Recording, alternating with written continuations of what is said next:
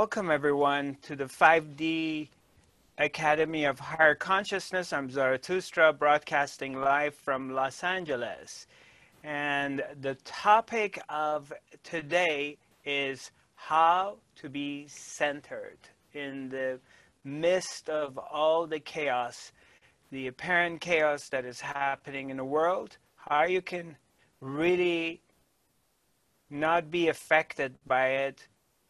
What can you do to stay in a center of yourself in this, uh, what seemingly uh, these times that things are up and down all the time and things changing very rapidly. There's a lot of confusion um, and uh, fear, worry, anxiety in the face of uh, this uncertain times.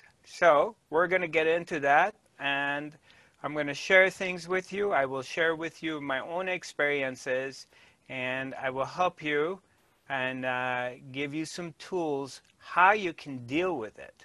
The number one thing I would like to share with you is in the center of yourself and in the center of the universe, it's very quiet and nothing is happening.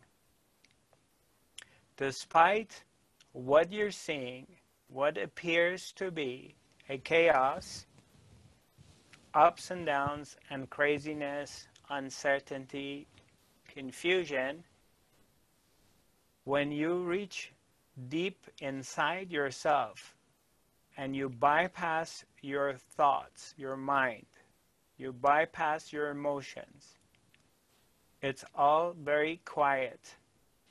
It's very still and very quiet and nothing it goes on. Nothing's happening.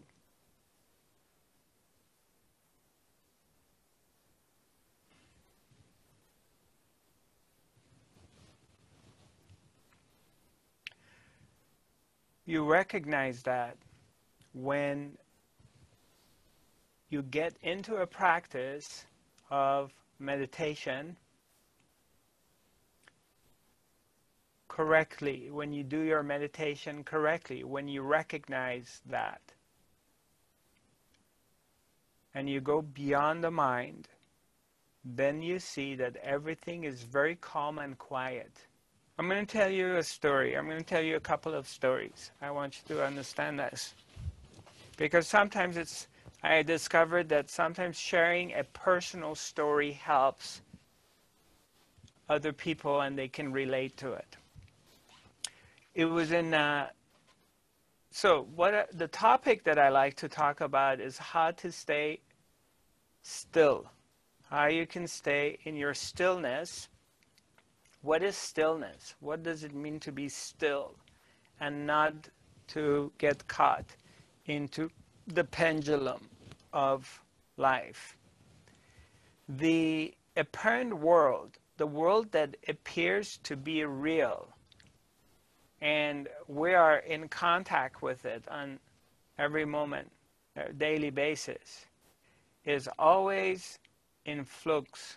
It's always ups and downs the nature of the human mind is that wants to create some kind of stability and predictability that I'm going to be doing this every day, the world is going to be doing this every day, and I'm going to figure out a way to manipulate things.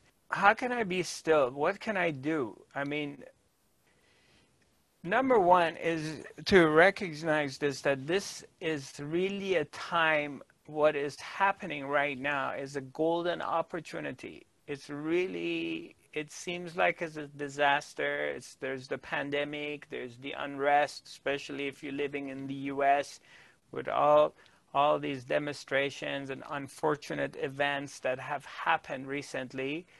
Um,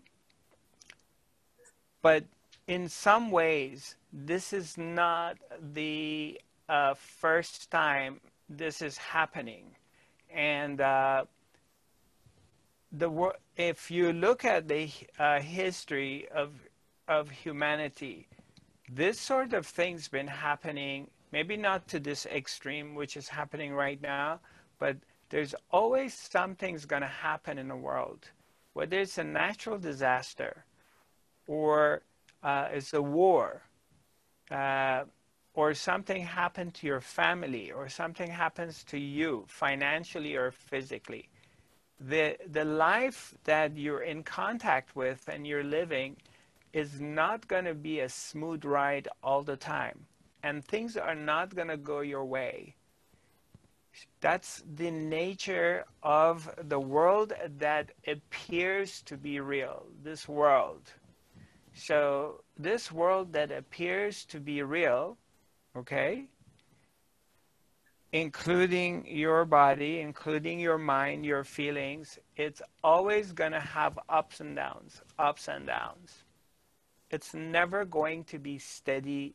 It's never going to be like it's going to go your way all the time and it's all going to be peaches and cream. There's always something going to happen.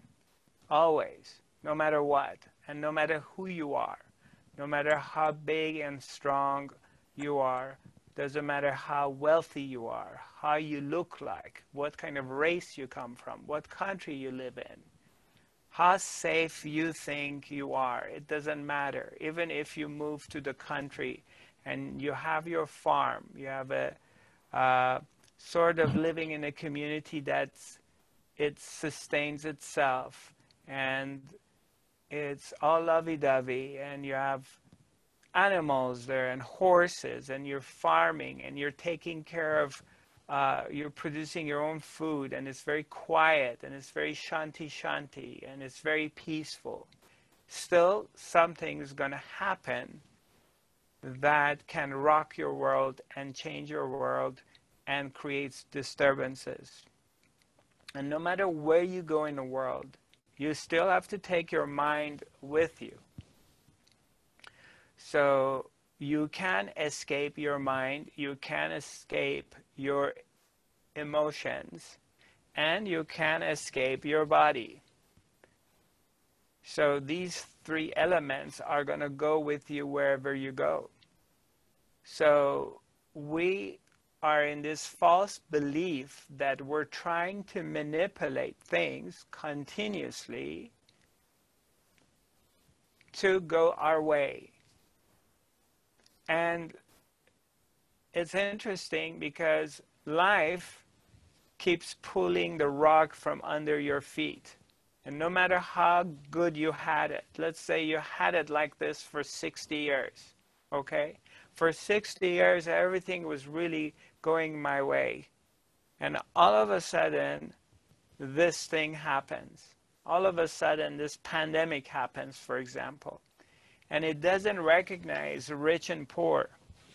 It doesn't recognize um, that, okay, for 60 years, you've been slick and you're smart and you're a great businessman and you've been an entrepreneur and you're doing really well or whatever, okay? And now all of a sudden you're in deep trouble and you're about to lose everything in your in in all your assets or whatever your lifestyle or this identity that you have about who you think you are and all of a sudden it's being rocked